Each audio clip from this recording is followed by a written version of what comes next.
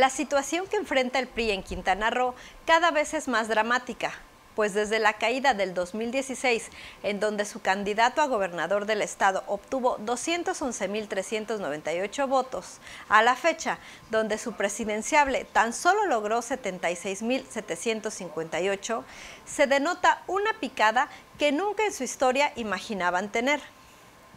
Poco antes de las elecciones de este pasado primero de julio, el PRI y sus aliados gobernaban ocho municipios y ahora solo serán cuatro y tres de ellos tienen menos de 40 mil habitantes. Y en los otros siete municipios que no ganó, apenas logró obtener ocho regidurías. Pero en Benito Juárez, por cierto, el municipio más importante del estado, no alcanzó ninguna regiduría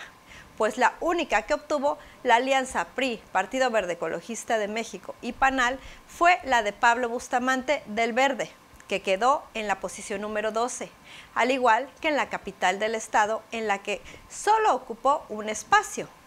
Ahora, el cuestionamiento es, ¿qué va a pasar con el PRI y quién será el valiente que lo sacará del hoyo en el que está?